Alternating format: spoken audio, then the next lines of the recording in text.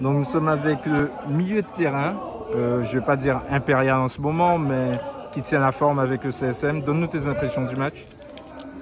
Match plutôt compliqué au début, c'est une équipe qui nous a tenu tête. Après, c'est vrai qu'on a eu des occasions, on ne les a pas forcément mis au fond, on aurait pu se mettre en difficulté. Euh, après, au fil du match, on dira qu'on les a eu à l'usure et à l'expérience, et après, on, Et, mais ce couple, parlons de ce couple, Francillon, Fautré.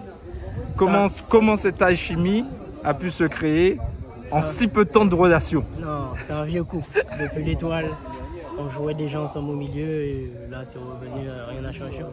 Donc c'est quelque chose qui, qui, te manquait un peu? Je ne savais pas que m'en manquait, mais c'est vrai que le gabarit avant c'était Béral. Et maintenant, lui, il apporte ce gabarit-là. Ça aussi, c'est un peu plus facile. Il est bon techniquement aussi, donc euh, ça, ça, se passe tranquillement. D'accord. Le but de Gomez But, pas but ça, Comment il appelle ça? Air France.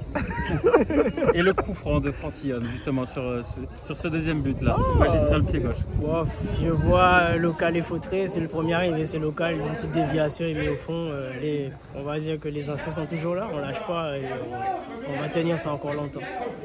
Ok. Ok, merci. Merci, Ulysse.